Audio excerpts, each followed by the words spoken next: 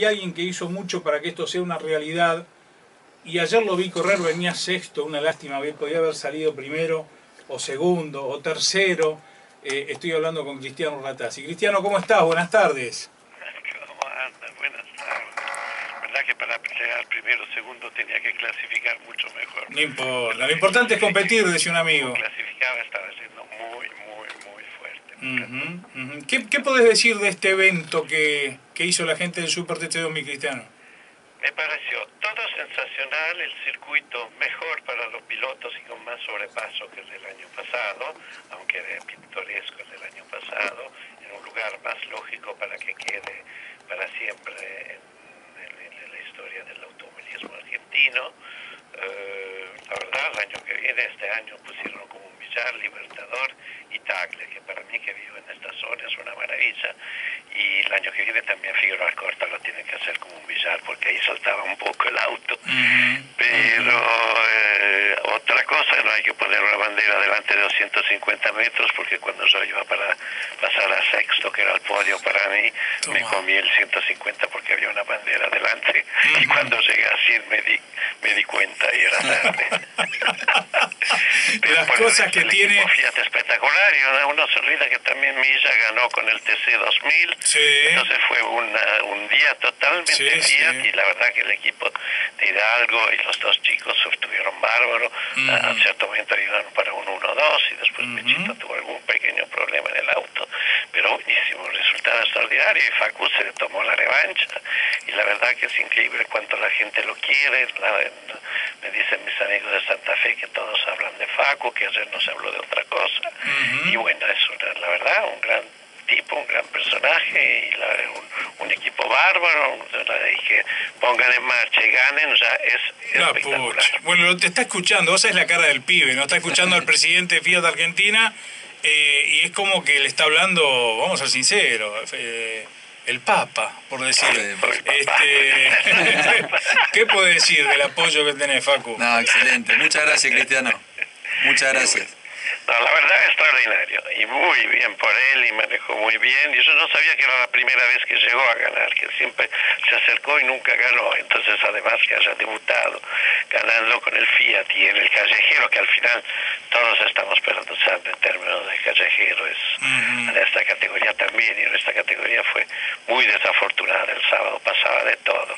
La carrera nuestra fue divina después lindísima con sobrepaso lucha buenísimo No, a ver, El este- nuestro fue trágico Sí, nadie sí. sabe por qué esas cosas que se dan por el destino ¿Cómo se abría la puerta? Nada, increíble. Los 10 minutos previo a la competencia se me abría la puerta. Paré en boxe, se me abrió dos, dos- dos vueltas seguidas. Y se cerró. Sí. Paré en boxe y le dije, se me abre la puerta, chicos. Bueno, la sellaron, llegué a la grilla, se volvió a abrir la puerta para, que, ven- para tener ventilación. Bueno, cerraron, sellaron. De hecho, Sí, Cachi sí, por sí. radio dice, chicos, fíjense bien la puerta del acompañante, ciérrenla bien. Bárbaro, viste, los chicos tomaron todas las precauciones y cerraron. Bueno, salí al traer el pescar, se larga la carrera, tres vueltas de carrera, se abre la puerta. Sí, la chicana, impresionante. Se abre la puerta. por televisión. Y no era solamente en la chicana, ¿eh? sino ¿Y? también en la curva de Tagle, en el ingreso a Tagle.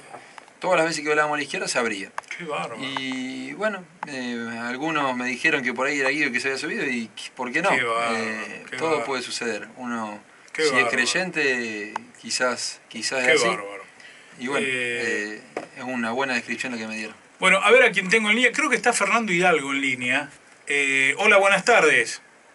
Buenas tardes. ¿Quién habla? Fernando, ¿qué Fernando ni Fernando? Oh, la ganador. El presidente de la Asociación. Cristiana de Jóvenes. Yo soy el que cerró la puerta. Qué jugador. Este es el jefe del equipo. El, el no es dueño, boludo. ¿De qué Ratazzi, ni Ratazzi, ni Bernengo? Nada, no El pulpo eso. es el pulpo, Eso viejo. parecen cuando yo voy. cuando Es yo Bruce es Bruce Willis, en duro de matar es el pulpo, viejo. ¿Qué haces, Lito?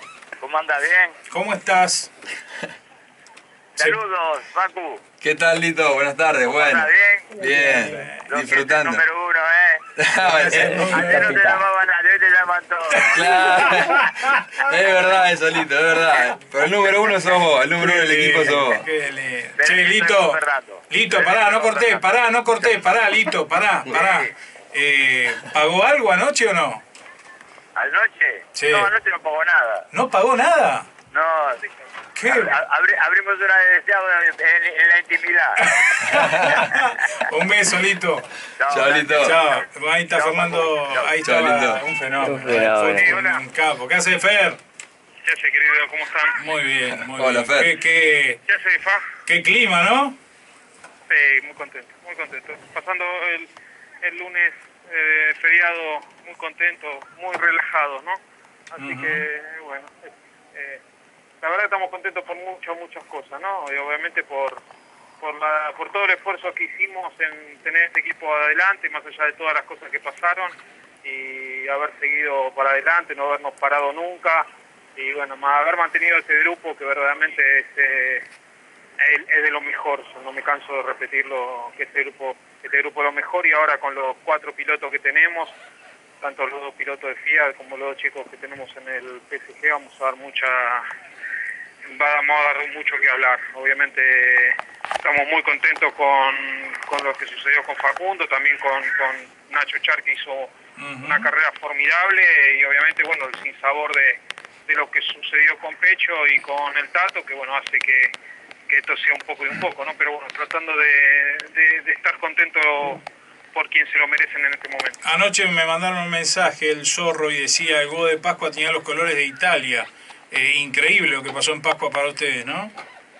Sí, sí, la verdad que sí, la verdad que sí, es increíble por muchas cosas, pero bueno, tratemos de dar vuelta a la página y seguir para adelante y, y bueno, ahora vamos a Rosario con sabiendo que tenemos dos autos muy buenos, sabiendo lo que tenemos que mejorar en dónde tenemos que enfocarnos, sabiendo que Facu dio un gran paso adelante, se sacó una mochila que él tenía encima, que ninguno de nosotros eh, sabemos, sabíamos perfectamente qué clase de piloto es, entonces, pero para él interiormente seguramente esto le va a dar una, como se dice en italiano, una svolta, ¿no? Que al contrario lo va, lo va, lo va a hacer más fuerte todavía, lo va a hacer más, más importante como corredor y, y obviamente queremos llegar a la primera última carrera para pelear el campeonato con todos los pilotos. Eh, ¿Qué pasó por la cabeza cuando salió el Pace Car, Fernando, en las últimas vueltas, donde ya se venía otro final apasionante? No, yo a mediados de carrera, cuando estaba Pecho y Facundo, ya me había ir, me, quería ir porque no soportaba ya mirar la carrera y le había hecho el pulpo y de hecho el pulpo subió al, al puente, se, estaba yendo y yo me pegué media vuelta y me volví.